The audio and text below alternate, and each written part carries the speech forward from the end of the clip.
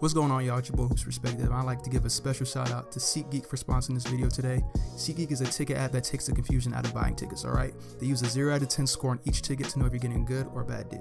Green means good, red means bad. Alright, don't waste any more time today. Get your first tickets using my promo code Hoops Perspective to take $20 off your first purchase. That's promo code Hoops Perspective. Now let's get into the video.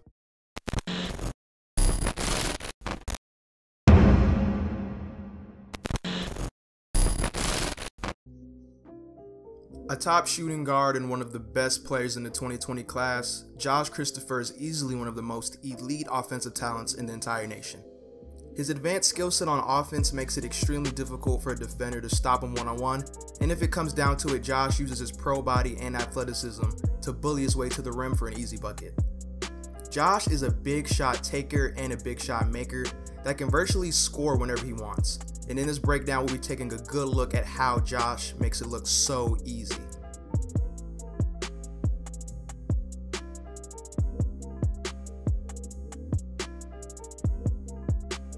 Only a junior, Josh has already proven he's one of the most skilled shooters in the entire country. His quick release and his elevation on his jump shot allows him to be a deadly catch and shoot threat on the perimeter.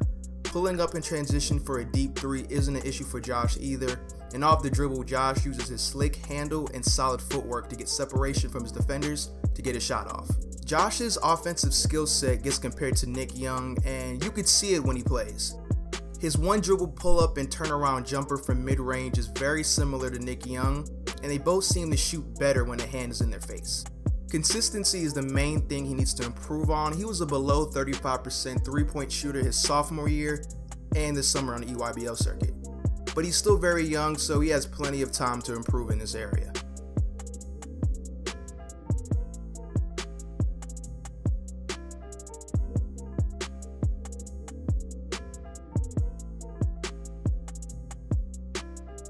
In the half court set, Josh is great at getting in the lane and finishing at the rim. He isn't super explosive off the dribble. Right now, he really relies on his handle and strength to get to the rim, but it works for him. Josh uses his 220 pound frame to bully his way to the hoop and finish strong at the cup. He's a very under controlled attacker. I like the way he attacks the help D when using ball screens. He can freeze you with crossovers and get around defenders in the paint with euros, spin moves, and pro hops. He draws so much attention on offense that it's common for two or three defenders to collapse on him, and Josh reacts really well to this with smart passes.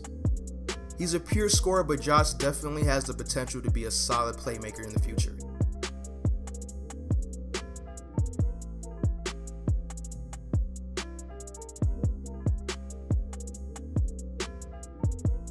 Josh can push the ball on the break and finish at the rim with the best of them.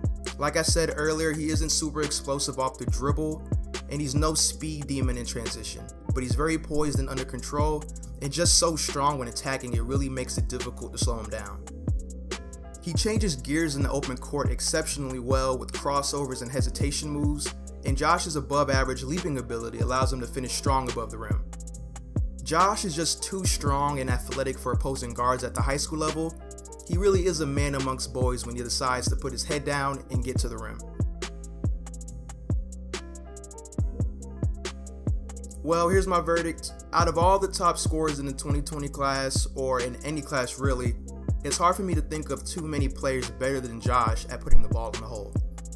At only 16 years old, Josh has a pro skill set offensively to go along with his pro body, which makes him a special player to keep an eye on.